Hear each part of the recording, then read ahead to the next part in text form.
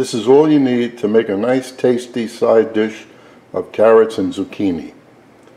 Salt, peppercorns, fresh dill, honey, butter. I like to cut the carrots on a bias for presentation. For eating, that's a different story. And not too thin either. We're going to boil these the way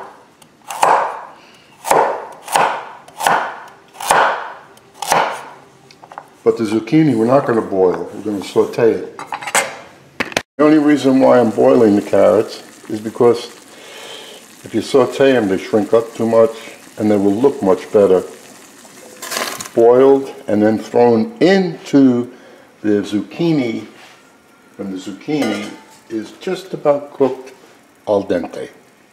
Depending on the size of the zucchini, depends on how you're going to cut it. But I like to have I don't like just plain slices. I like to have a rough cut. So for this one, I cut that in half. And these are going to be large. So cut off the little end. Save the big piece. And then when you just cut it, slide it over like that and cut it on an angle.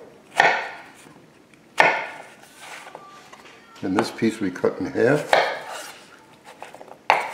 slide it over, and again, just on an angle.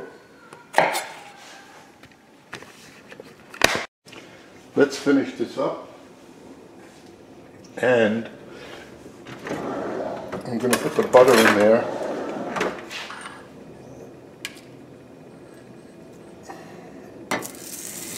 You can cook this very slowly, or you can do it like this and have that nice nutty flavor. Um, but it might not because zucchini has a lot of water in it. And it'll come out. It smells good already, butter. Sprinkle some salt. I'm using pink Himalayan salt. And some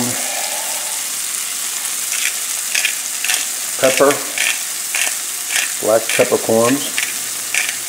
I like the black. I never use the white on anything except if I'm making a cream sauce that has to look beautiful white and then I have to use white pepper. I have no choice.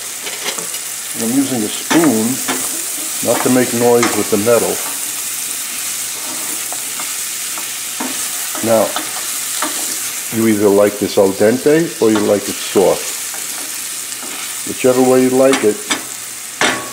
We're going to quicken this cooking by just putting a lid over it. You don't have to. You can spend your time cooking it, watching it. I'm going to give this two minutes. I add the carrots, which are cooked, soft, al dente, whatever you like. After the carrots,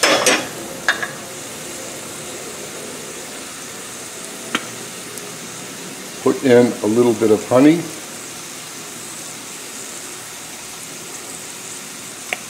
Or not. Add the dill. Chop fine or not.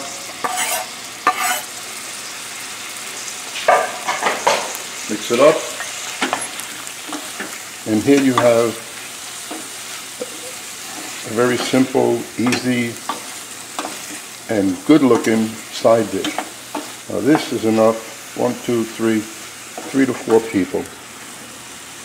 you just take this, let's see how it looks in a little dish.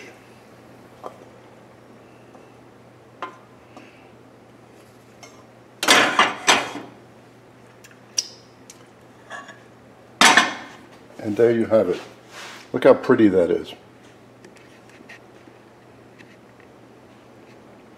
Enjoy.